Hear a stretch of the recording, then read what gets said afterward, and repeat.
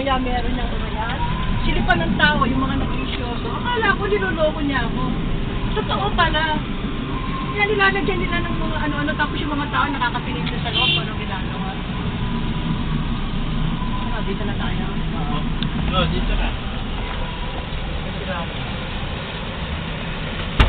Iwan ko itong bag ko dito. Ano? Oo, puro. Oh,